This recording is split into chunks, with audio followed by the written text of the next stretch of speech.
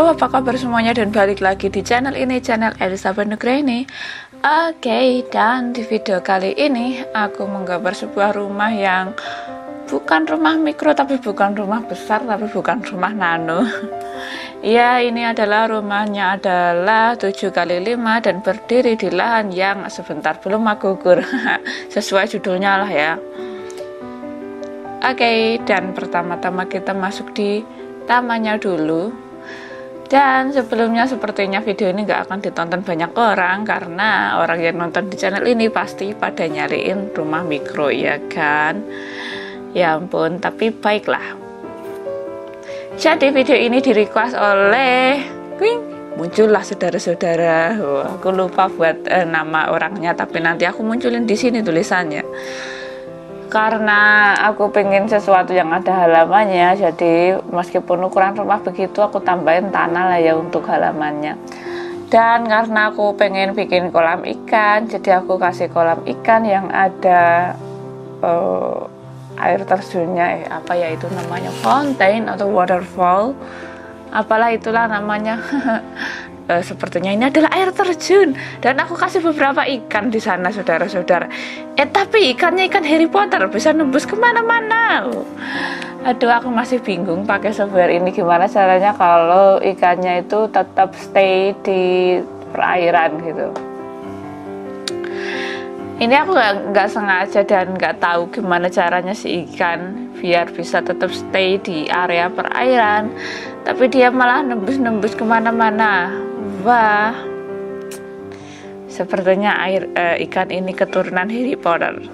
Dan di depannya ini adalah aku bikin kayak sebuah lemari gitu yang bisa diisi sabun, handuk, sepatu, ras sepatu dan lain sebagainya.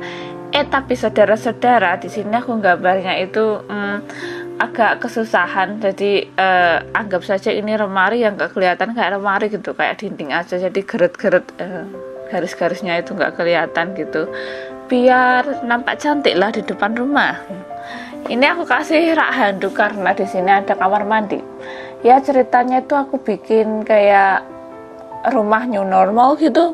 Jadi tiap ada tiap kita mau masuk rumah ya kita harus mandi dulu. Dan jangan lupa uh, bawa stok baju kamar mandi. Jadi keluar itu ras udah pakai pakaian lengkap jangan pakai handuk karena ini di luar rumah gitu di depan rumah. Kan malu gitu kalau keluar keluar cuma pakai handuk.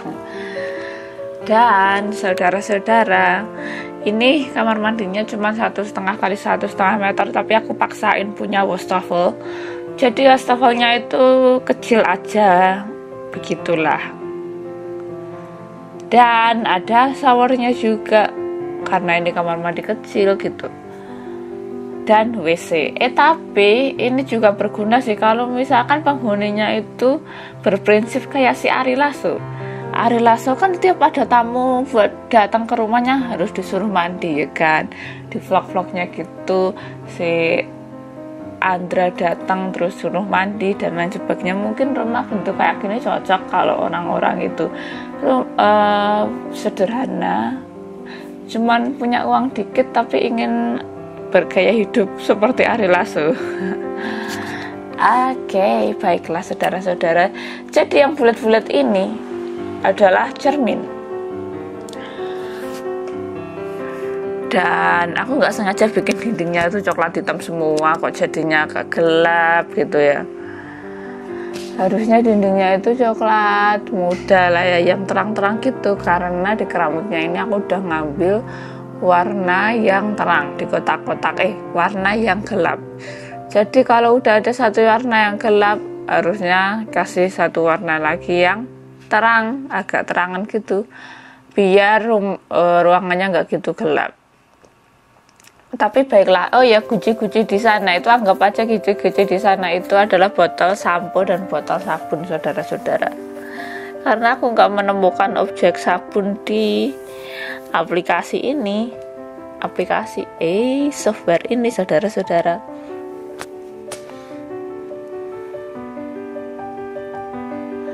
Dan ini adalah pintunya tadi. Mari kita keluar dari pintu terkutuk ini saudara-saudara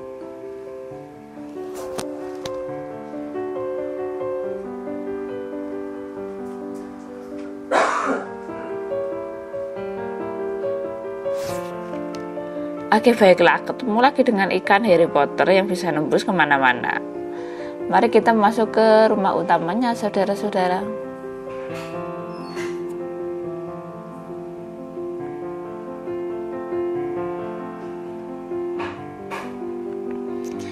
Eh, lima dikurang Oke. Jadi ini adalah ruang tamu, eh, sekaligus ruang keluarga, sekaligus ruang bersantai dan ruang apa pun itu. Ini ukurannya adalah besar sekali.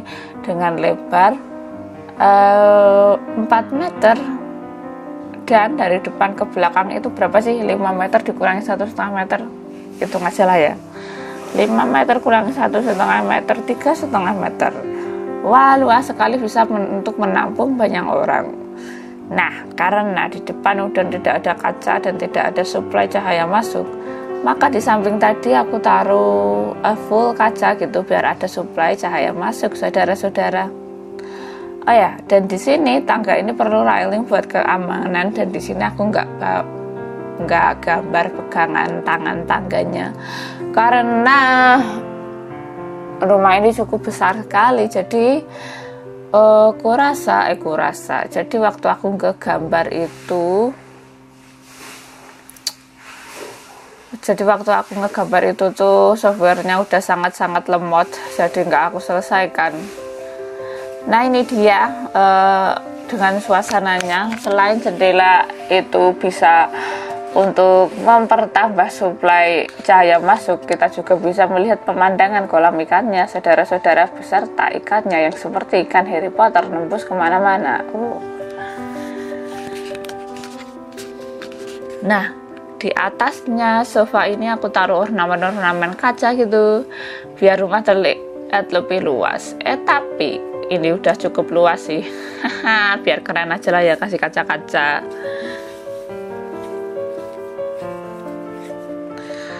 dan di rak TV-nya itu memanfaatkan area bawah tangga biar bawah tangga nggak kosong kalau ruangan kosong bisa dihuni hantu taruh aja TV di sana biar hantunya nonton TV ya kan ya dong oke okay.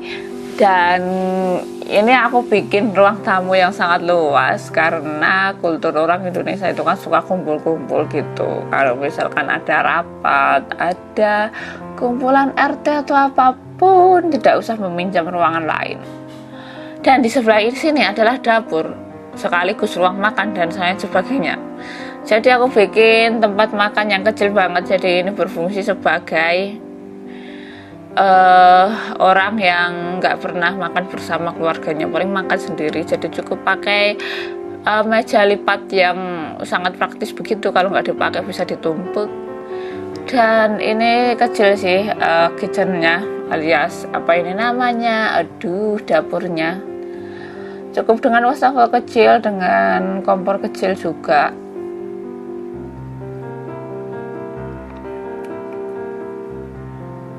tapi bagian bawah kitchen set dan atasnya rak-raknya penuh ya. Pintu semua.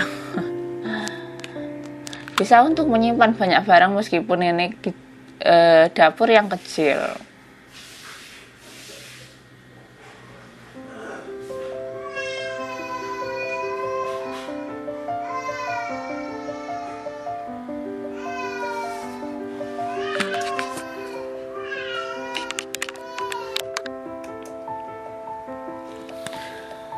Oke, dan ini adalah penampakan kitchen setnya secara keseluruhan.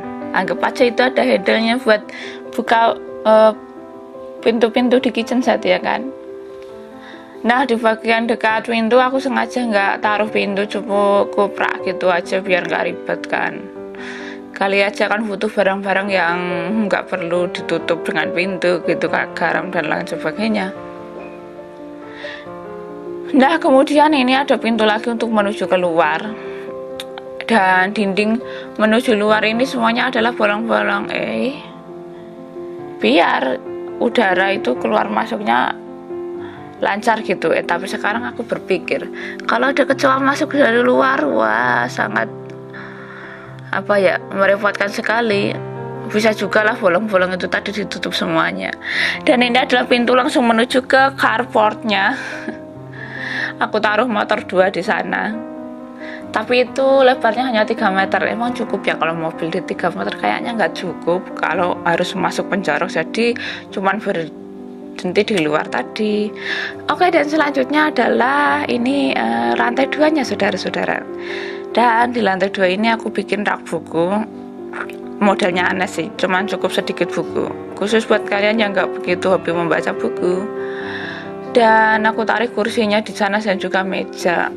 Eh kursinya itu ternyata ke ketinggian. Sehingga mejanya nggak jadi bikin karena terlihat begitu tinggi. Nah bisalah kursinya dibikin lebih rendah terusan meja yang tinggi. Jadi lantai dua ini cukup sederhana hanya terdiri dari dua kamar dan satu kamar mandi. Tak lupa di sini aku juga tidak menggambar railingnya. Karena udah dijelasin tadi, uh, ini rumah begitu kompleks dan begitu besar. Sekecap aku jadi apa ya lemot di sini sehingga tidak aku selesaikan. dan ini adalah kamarnya. Bisa juga itu sebagai balkon kalau kalian mau nambahin railing di sana. Nah, ini pintunya hmm, full kaca dan kemudian di sebelah kanannya adalah lemari yang full sampai ke atap sana biar kapasitasnya itu besar saudara-saudara.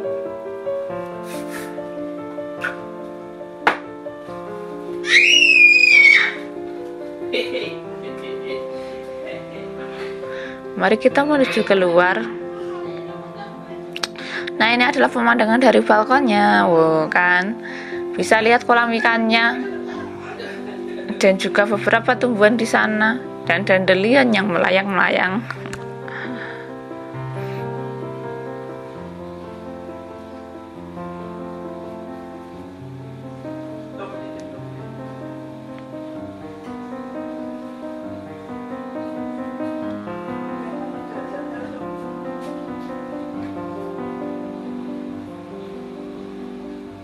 Oke, mari kita kembali lagi di rumahnya saudara-saudara.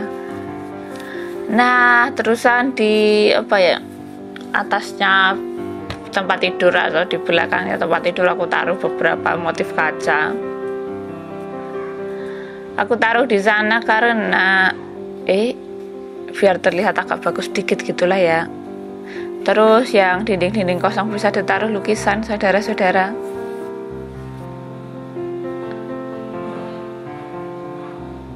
Mari kita menuju ke tempat berikutnya.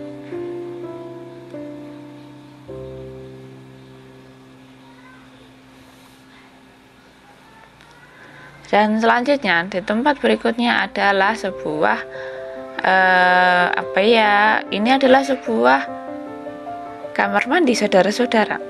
Dan ukurannya lebih besar dari yang kamar mandi di lantai satu tadi ini kurang lebih satu setengah kali 2 meter. Cukup untuk showernya. Hmm,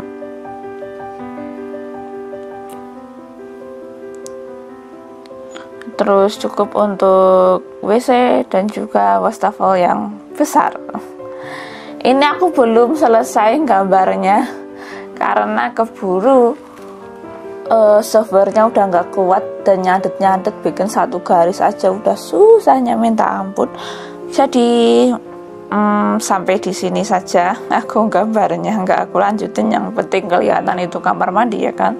Tak lupa pakai ventilasi udara juga di atas sana. Biar apa pun yang terjadi kalau kalian dikurung di kamar mandi dan lain sebagainya masih bisa bernapas gitu masih bisa hidup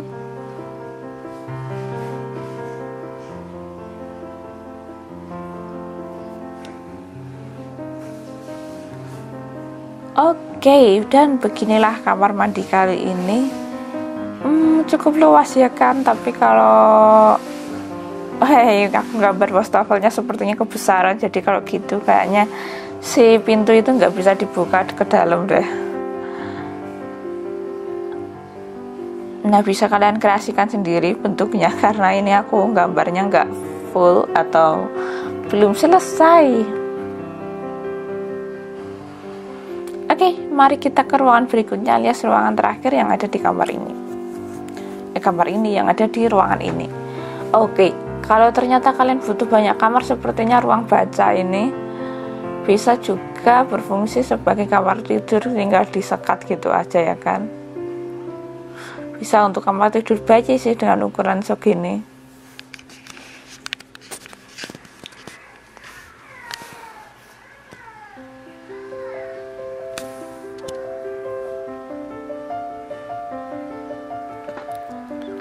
Atau mungkin bisa jadi tempat TV gitu jadi nonton TV nggak perlu ke bawah jadi bawah adalah murni sebagai ruang tamu. Yang sangat besar. Oh.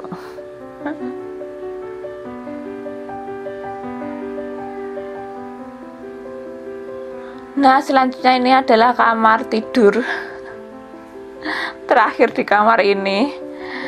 Karena aku belum selesai ini kamar tidur masih kosong udah kayak kos-kosan aja ya kan cuman ada satu dipan alias satu tempat tidur di sana. Bisa lah dikreasikan segala macam. Eh tapi tempat tidur ini mempunyai jendela yang sangat besar. Jadi dia nggak punya balkon cukup jendela aja. Dan jendela ini langsung menghadap ke area depan. Jadi bisa memantau area depan dengan baik dan benar. Kali aja ada maling ataupun apa pun dan aku belum selesai juga untuk menggambar gerbangnya. Ayo masih lost gitu aja. Nanti bisa dikreasikan bikin gerbang sendiri saudara-saudara.